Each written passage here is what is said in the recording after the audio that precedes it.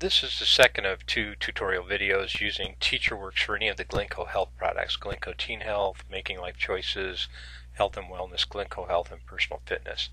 Um, the first part dealt with installing opening the teacher wraparound. This segment will deal with the lesson planner and some of the other resources.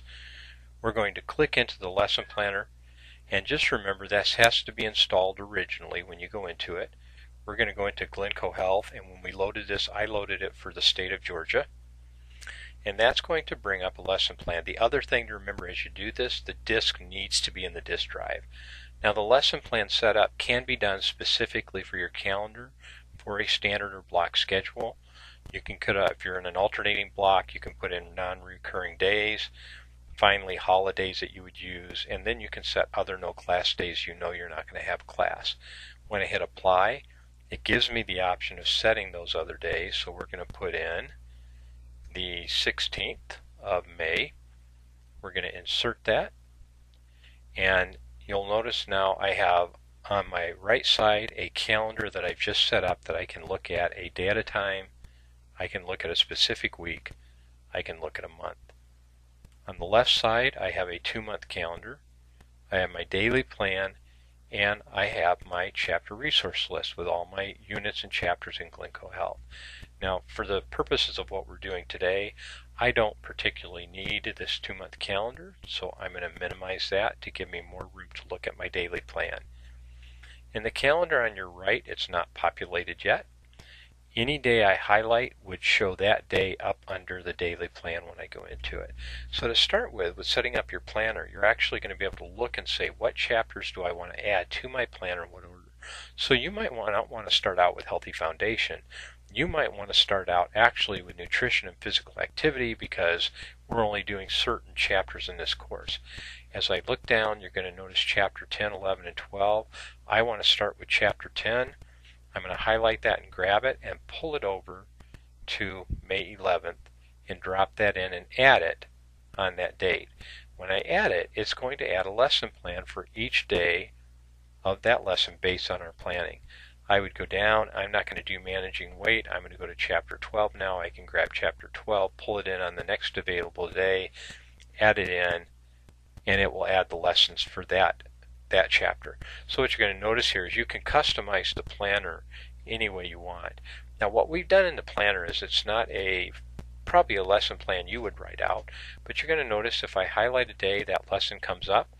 We've taken all the resources both in the book, in the technology, and in the print resource pack and have listed all of those materials for you. As you page down and look at this, you're going to see an introduction, here are the Georgia standards that go along with that. Then under the lesson, a three-part lesson plan focus. So here are all the materials both in the book and in print that you could use to do focusing with the students. Here's teaching, and those materials again both in the book and in the teacher's edition listed for you. And then lastly, assess. So here are the options of things I could use to do assessment and also reteaching as I go into that. Now, if the piece is in red, it's a page in the teacher edition. If it's in blue, it's a print resource. If it's purple, it's actually one of the standards. And then finally, there are a few that are, um, I want to say that they're green when I go up here. Yes, and those are technology pieces that are available. By the way, all of these are linked. So if you have the PowerPoint loaded and click on that, it will actually bring it up. If I wanted to look at the reading essentials, I could double click on that and it would actually bring up a PDF version um, of that resource. So when I click on it, it's going to bring up the reading essentials for chapter 12. Um, and I am going to have to page over to that specific chapter when I go into it. When I get done, I click out of it. You're going to notice that in Glencoe Health, all of the print resources have a pencil by them. And what that means is these are editable resources. And I can edit these two different ways. If I'm using um, a Mac or a PC, I can actually click on that resource and go to the top corner and actually click on Worksheet Editor. That will bring this up in a generic word processor where you now can go in and edit anything about this document. So I could actually change this because I'm using a different title um, physical innovation. and I could save that and I get to give it a new name. This is physical innovation. When I say OK, it's been saved, and that resource can now be added to my planner as I go in. That edited version is going to ask me, do I want to add it to a day? Yes, I want to add this to not the 11th, but 520.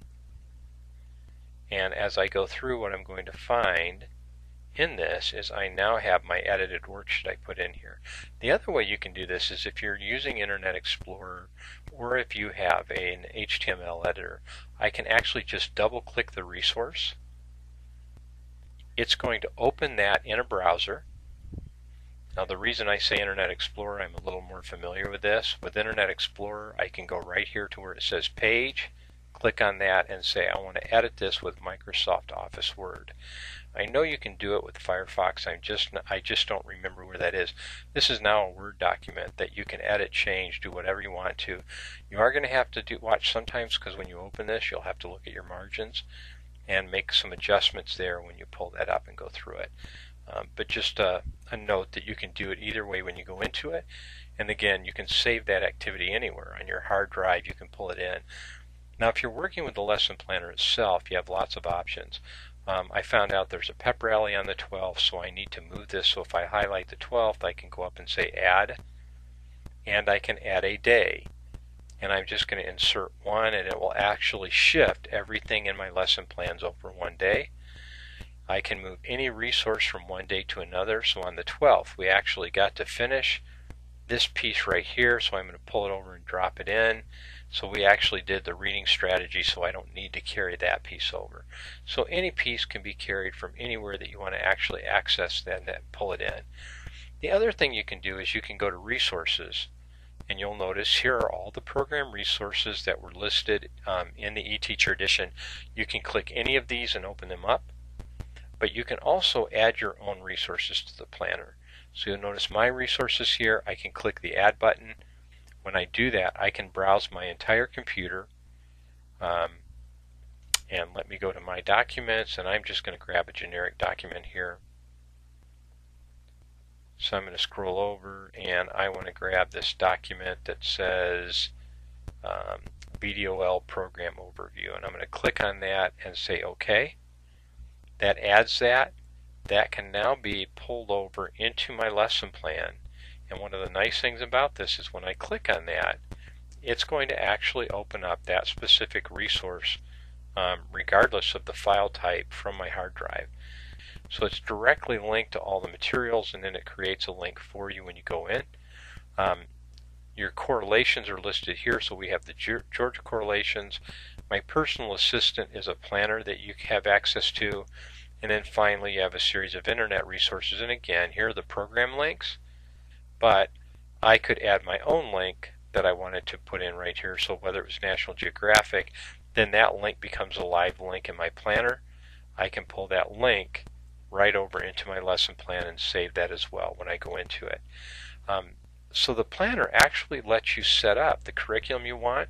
You can go in and then say, I want to save this lesson plan and I want to call this um, first period health and say save. Now that's um, a lesson plan. I can export the resources and actually send this to other teachers so they can use the same lesson plan that I've created. Um, just one last thing I want to mention on this. The best thing to do is actually go in and pull all these pieces up. You have two features you might want to be aware of. You have standards tracker, so you can actually go in um, set a series of dates up. So if I go in and set this up to 612 and say apply, I have a series of standards from the Georgia standards. Now, not every state has this.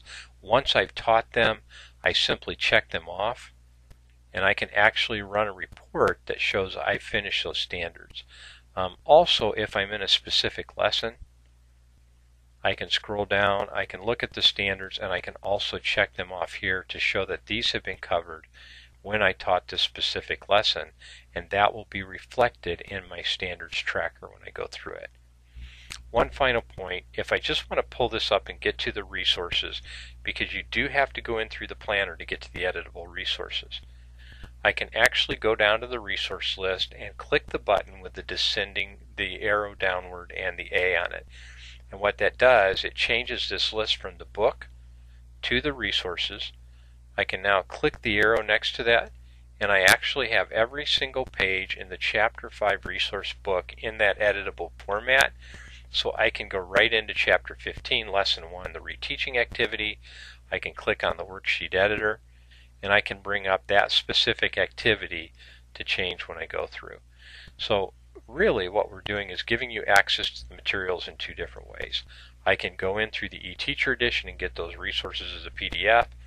I could go into the lesson planner, set up my lesson plans, or simply go to the resource list, grab those resources as an editable format. This is just a brief overview. Um, we have resources that actually show you step by step, and even on the disc, there's a user manual that goes into more detail on how to use all this information that's in this program. But the beautiful thing about it with Glencoe Health, Teen Health, Personal Fitness, on one desk you have both your teacher's edition and all of the available print resources.